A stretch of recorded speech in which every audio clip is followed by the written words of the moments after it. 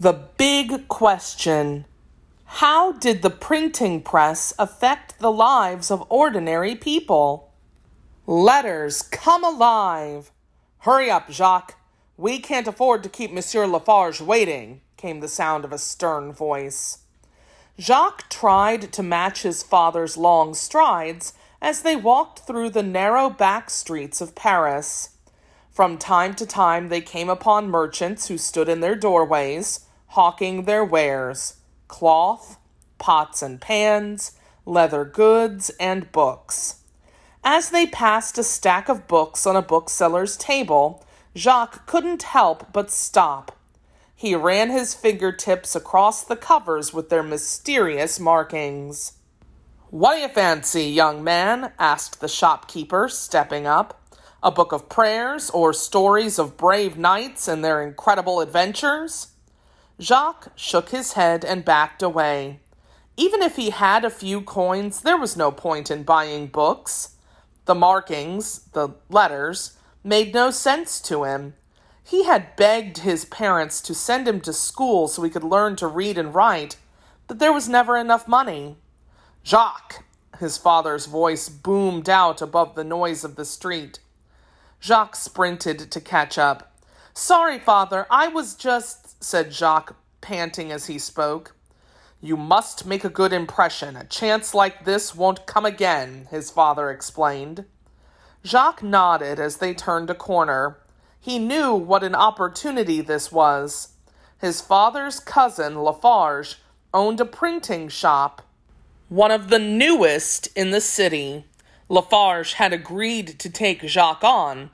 Jacques would be cleaning, running errands, and doing whatever he was told, but he would also get to see a printing press in action and learn how books were made. This job might even lead to an apprenticeship. The thought filled Jacques with excitement, but it terrified him too. What if reading was essential to working at the shop? What would happen if Lafarge found out that he couldn't read? Jacques tried to put that thought out of his mind as his father stopped abruptly in front of a large wooden door.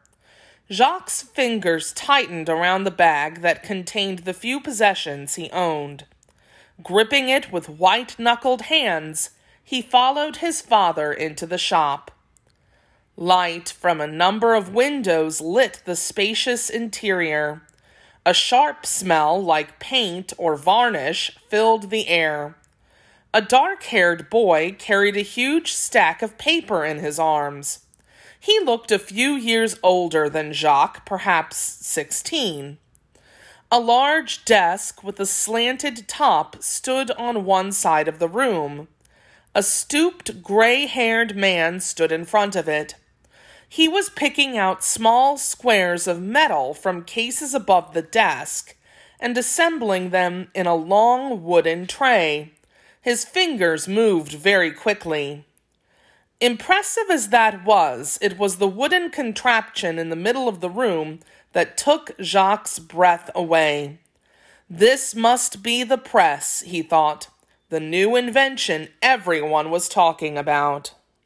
He'd heard rumors that it could print whole pages at a time and make many copies in minutes. Jacques thought the press looked a little like the wine presses he had seen in the countryside. It had a large, screw like mechanism in the center and a wooden lever as thick as Jacques' arm. Two men, one tall, one short, were huddled around the press, studying something Jacques could not see. The tall man looked up and caught sight of them. He grinned broadly at Jacques' father. Cousin, he shouted, coming toward them. He shook hands with Jacques' father and looked down at Jacques with piercing eyes. You would be Jacques, of course, the tall man continued. I hope you will prove to be as good a worker as your father promised me you would be. I will work extremely hard, monsieur, Jacques said, at whatever task you give me. Excellent. Now meet your fellow workers, Lafarge replied. His muscular arms swept toward the gray haired man. My typesetter, Henri, the best in the business, he exclaimed loudly. Turning toward the press, Lafarge gestured toward a young man and the dark haired boy. Philippe, my head printer, and his apprentice, Jean Claude, Lafarge exclaimed. Then he gave a short nod as if enough time had been wasted. Jean Claude will show you what to do, Lafarge concluded before marching away. Jacques hardly had time to say goodbye to his father before Jean Claude was leading him toward a back room. He pointed toward a corner where a broom stood beside a pail and a pile of clean rags. Monsieur insists on a spotless shop. The rags are for cleaning type, explained Jean Claude. Jacques wasn't sure what type was or how it was to be cleaned, but he just nodded. He didn't want to look foolish. Broom in hand, Jacques started sweeping in a far corner of the shop. As he worked, Jacques observed what was happening around him. He hoped to learn as much as he could. Each time customers came in, Lafarge rushed over to greet them. He guided them into a small office where a discussion ensued. Jacques caught snatches of conversations about books, pamphlets, law certificates, and decrees. People wanted all sorts of things printed. Jacques swept his way over to where Henri was working and watched the old man out of the corner of his eye. He had filled a large wooden frame with rows and rows of the little pieces of metal. Jacques realized they must be letters, what Jean Claude had called type. Henri's job seemed to be to arrange the letters, the type, to form words. Obviously, Henri knew how to read. The thought made Jacques uneasy. Henri suddenly lifted up the frame full of type and spun around, nearly knocking into Jacques. Out of the way, boy, the typesetter yelled. Jacques flattened himself against the nearest wall, but he watched as Philippe helped Henri set the tray of metal pieces into the press and clamp it into place. Behind them, Jean Claude smeared what looked like shiny black paste onto a board. Ink, thought Jacques. Jean Claude then grabbed two rounded balls of leather topped with handles. He pressed the balls against the plate of ink and then dabbed their blackened bottoms on the type held tightly in the frame. Jacques could see the surface of the type turn dark as the layer of ink grew thicker. Philippe stepped in, holding a large sheet of cream colored paper by its edges. Working together, the three men gently fitted the paper into the press so it lay on top of the type. Then Philippe grabbed the huge lever that jutted out from the side of the press. He pulled it toward him with a powerful, even stroke. The great screw in the center of the press turned. A flat wooden board descended, pressing the paper down onto the inked type beneath it. Jacques forgot all about staying out of the way. He sensed something remarkable was about to happen. He stepped closer to the press as Philippe released the lever. Jean Claude reached in and lifted up the paper. Perfect rows of black letters stood out against its creamy surface. Jacques thought it was the most beautiful thing he had ever seen. That's amazing, he blurted out. It's like magic. Both Philippe and Jean Claude grinned at him, but Henri scowled and shook his finger. Get to work, boy. If Monsieur Lafarge sees you dawdling, you'll be out of a job, he barked. Jacques flushed with embarrassment and went back to sweeping. Jean Claude and Philippe seemed nice enough, but Henri obviously didn't care for him. He would need to stay out of the old man's way. Jacques grew used to the flow of the work and the captivating rhythm of the press. One printed sheet after another came to life inside it. Each sheet of paper was hung up to dry, clipped to cords that ran across the back of the shop like laundry lines. Once, when he was sure Henri was not looking, Jacques stepped up and stared closely at one. The letters were perfectly aligned and elegantly shaped. But he had no idea what was written on that beautiful page, because he didn't know which letters were which, or how they could be combined into words. He stared and stared at the mysterious shapes, feeling more hopeless than ever. When Jacques finished sweeping, he helped Jean Claude bring in a load of paper that had just arrived. After lunch, Philippe asked him to stir a new batch of ink. The stuff was as dark and sticky as tar, but Jacques liked the smell of it. It's made of lamp black, varnish, and egg white, Philippe explained. There's also powdered metals that help the ink to cling to the type and not spread into the fibers of the paper.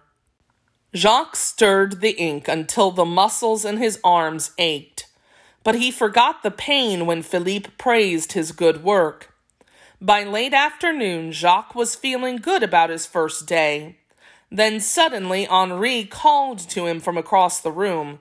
Boy, come here, he yelled. Nervously, Jacques went over and stood beside the typesetter's slanted desk. This type needs cleaning, Henri said, handing Jacques a basket of metal pieces thick with ink. Wipe them until they shine. In the back room, Jacques polished the pieces of type until they gleamed. He returned to Henri and held out the basket. All done, sir, announced Jacques proudly. But Henri didn't take the basket. Instead, he gestured toward the many small compartments in the cases above his desk. Put the letters back where they belong, he ordered. Jacques' heart sank. He glanced up at the cases and then down at the basket of type in his hands. He had no idea which letters were which. He set the basket on the desk, plucked out a piece of type, and pretended to study it while shame turned his cheeks crimson. He knew the typesetter was watching him even more closely.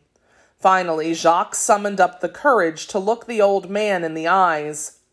I'm sorry, I can't do it, sir, he said in a voice that was almost a whisper. Henri took the piece of type from Jacques. I knew that already. This was a test, Henri replied.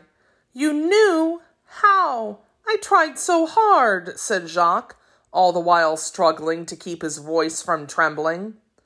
The old man's reply was quiet and kind. Yes, you did. But when you gazed up at the drying sheets of paper, you simply stared at them. If you'd been reading the words printed on them, your eyes would have moved from side to side, he explained. I see. Jacques sighed, feeling his shoulders sag. And now I've failed your test as well. Oh no, Jacques, you passed my test quite nicely, said the old man with a smile. Jacques looked up sharply. But, but I, he stuttered. You were truthful, Henri said, interrupting. That is as important as being able to read, at least as far as I am concerned.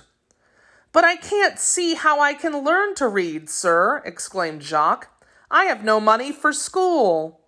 Then it's a good thing you have me, Henri replied.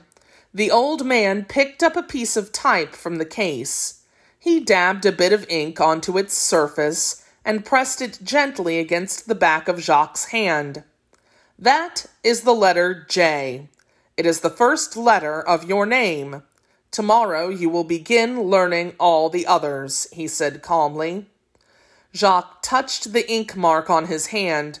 Why? he asked. Why would you do this for me? Because I remember how it felt not to be able to read, the old man replied. Then Henri put a hand on Jacques' shoulder. This morning, when you saw your first sheet come off the press, you said it was magic. It is, in a way, but the greater magic is reading. The ability to read will change the world. You mark my words, Jacques.